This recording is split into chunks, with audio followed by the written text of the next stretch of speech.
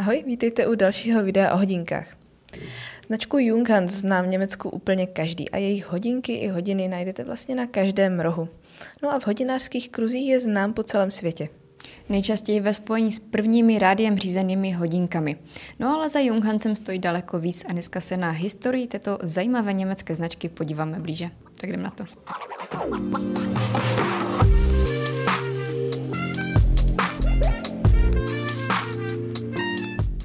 Společnost Junghans byla založena v polovině dubna 1861 Erhardem Junghansem a jeho švagrem Jakobem Zellerem Toblerem v německém Schrambergu. Nejprve vyráběli pouze komponenty pro hodiny, jako dřevěná pouzdra, skleněná dvířka, panty, ručky a podobně. Do zim pomohl bratr Erharda Xavier, který žil v Americe a svému bratrovi dal dobré typy na efektivnější výrobu a stroje. První hodinky, které byly kompletně skonstruovány mistry hodináři Junghansů, přišly až v roce 1866. Zakladatel Erhard Junghans umírá v roce 1870. Mimochodem podle Wikipedie na bolest v krku. Dopřejme 10 sekund ticha za Erhardem.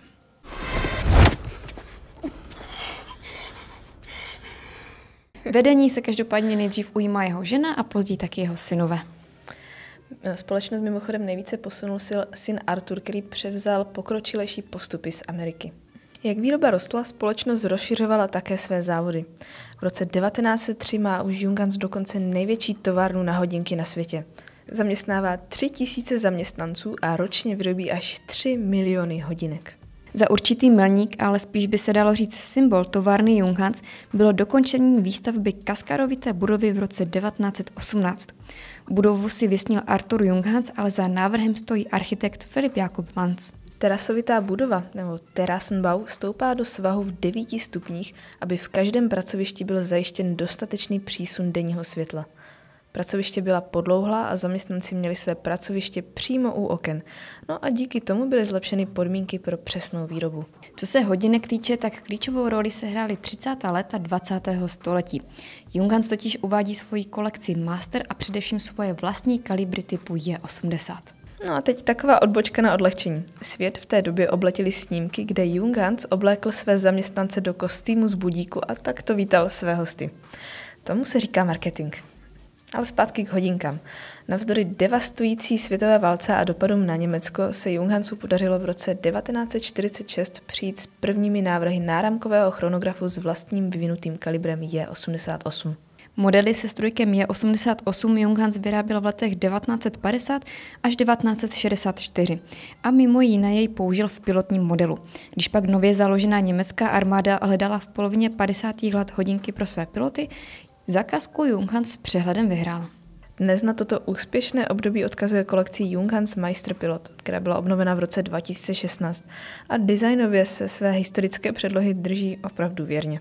Díky vlastním spolehlivým strojkům si Junghans drží silné postavení jako výrobce spolehlivých chronometrů. V roce 1951 byl největším výrobcem chronometrů v Německu a v roce 56 dokonce třetím největším výrobcem chronometrů na světě, a to po značkách Rolex a Omega. A v téže době vyrábí také jeden z nejzajímavějších automatických chronometrů kalibr J83. No a ještě jednu událost musíme zmínit. Většinu akcí Junghansu přebírá v druhé polovině 50. let společnost Deal. A jako jednu z prvních nových kolekcí uvádí modely Max Bill. A tady se odehrává zásadní událost, která Junghansu vtiskne podobu, jak ji známe dodnes. Na sklonku 50. let totiž najímá Junghans umělce, architekta, produktového designéra švýcarského původu Maxe Billa, aby navrhl kuchyňské hodiny Junghans. Vznikají tak designy, které jsou pro Junghans typické dodnes.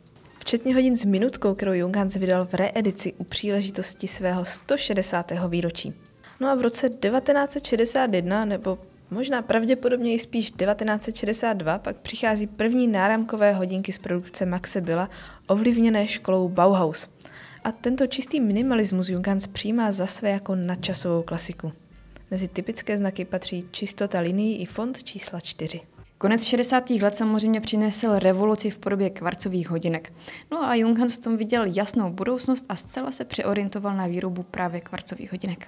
Už v roce 1970 byly vyrobeny první německé kvarcové hodinky Astro Quartz a Junghans tuto technologii dále rozvíjel. I díky tomu si získal dobrou pověst jako výrobce přesných časomír a taky se stal oficiální spolehlivou časomírou olympijských her v roce 1972. které mají mimochodem velice tragickou historii, ale Junghans splnil svůj úkol na jedničku.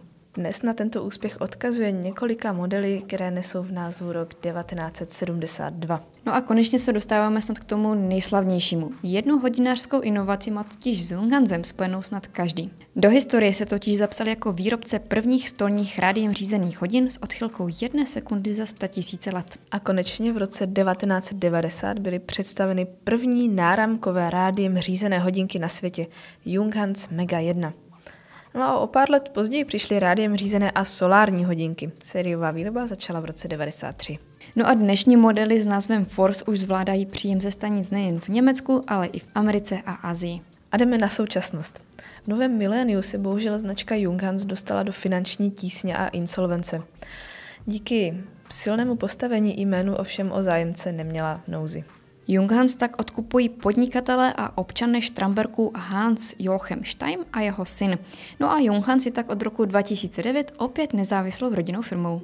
Rodina Štajmu investuje do vývoje mechanických strojků, zavádí novou výrobní linku pro rádiem řízené hodinky, získává další významné budovy Junghansu a tak se zdá, že německý hodinářský klenot je v dobrých rukách. V roce 2021 Junghans oslavil 160 let od svého založení a nezapomněl ani na zajímavé limitované edice.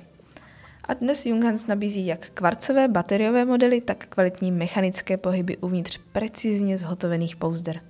Nejčastěji se setkáme s chirurgickou ocelí, případně keramikou, ale u limitovaných edic jsou to i drahé kovy. A samozřejmě i nadále vyrábí rádiem řízené modely, nejčastěji ve spojení se solárním pohonem. Designově můžete vybírat ze zajímavých historických inspirací nebo vsadit na nadčasový minimalismus vycházící právě ze školy Bauhaus. Právě ten je totiž pro Junghans asi nejcharakterističtější. No a samozřejmě taky kvalita zpracování, na které si dává Junghans opravdu záležet, aby dostal svému více než 160 letému historickému odkazu. No a to už bylo o historii této zajímavé německé značky pro dnešek všechno. Moc děkujeme za sledování, pokud se vám video líbilo, budeme samozřejmě rádi za sdílení, like či odběr a nezapomeňte, že der richtige Zeitpunkt ist jetzt.